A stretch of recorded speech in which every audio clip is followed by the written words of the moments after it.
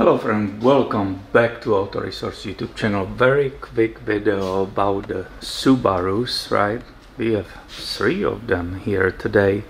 2002 Forester, 2002 Impreza, 2002 Impreza and that's a thing I keep seeing on these EJ25 engines. Now, what I want to discuss.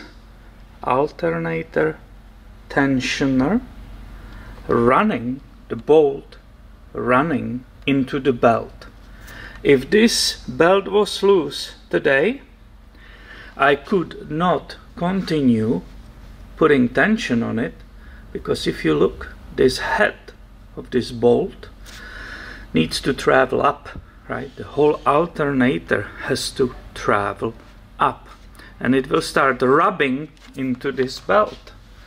I believe this belt was correctly ordered from some aftermarket store. Obviously, it's not OEM belt, right? It's aftermarket.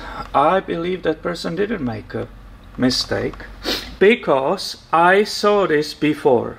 I saw this being coming so high that it will start rubbing on the belt, right? If you look on the range, that alternator can go really low, which will accept way shorter belt, but in this case this reached max. This belt doesn't look very old, right?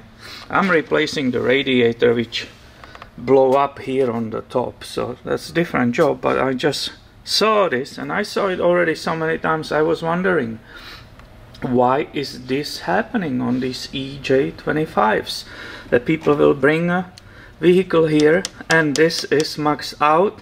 If I move it just one millimeter more it will start rubbing.